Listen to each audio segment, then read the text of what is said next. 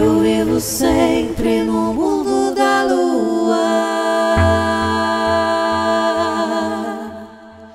Porque sou um cientista e o meu papo é futurista, é lunático.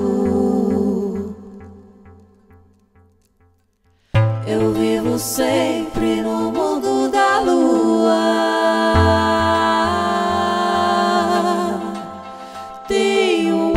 de artista, sou um gênio, sonhador e romântica.